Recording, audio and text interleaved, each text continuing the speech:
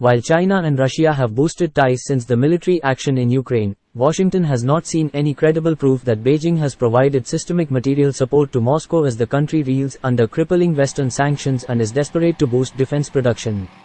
One senior Treasury official, according to CNN, said that China is reluctant to help Russia, prompting Moscow to source material from North Korea and Iran.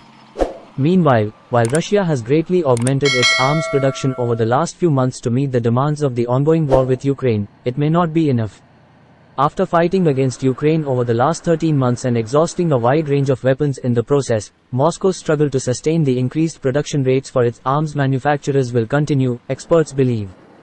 However, the statistics of the current rate of its arms production are something that should cheer Russia for the moment. Compared to the previous year, the manufacturing output index for sectors related to the Russian defense industry from January to February 2023 has revealed positive growth, says Dr. Pavel Luzin, a well-known expert on the Russian armed forces, who is presently at the Fletcher School of Law and Diplomacy, Tufts University, Boston. Luzin has calculated that this year's manufacturing output index, compared to the corresponding period from January to February 2022, was, for computers, electronics, and optical devices, 112.6%, for other transportation vehicles and equipment, 117.7%, and for chemical production, 94.2%.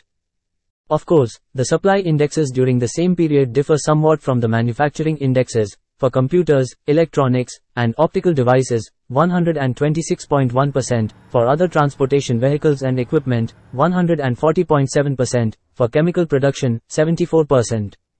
But Luzin explains that this difference between the two indexes may be because Russian companies recently supplied arms that were manufactured in late 2022, considering the known delays in the delivery of ordered arms and other systems. It may be noted here that Russian President Vladimir Putin and his senior ministerial colleagues have been touring the leading military industrial complexes in the country over the last six months to emphasize the need to boost arms production. In 2023, the military industrial complex will lack about 50,000 specialists. First of all, we are talking about highly qualified engineers of a very specific profile. The military industry can respond to their lack by a significant slowdown in growth, said Alexander Safonov, professor at the Department of Personnel Management and Psychology, vice rector of the Financial University under the government of the Russian Federation. However, directly or indirectly, replenishing arms used in Ukraine by all those involved in the war is a global issue. European manufacturers are also facing the same problem as the Russians in producing enough arms to supply Ukraine and meeting the security needs of their respective countries.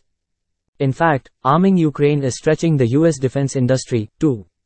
In that sense, what Russia is experiencing may not be exaggerated beyond a point. But one thing is clear.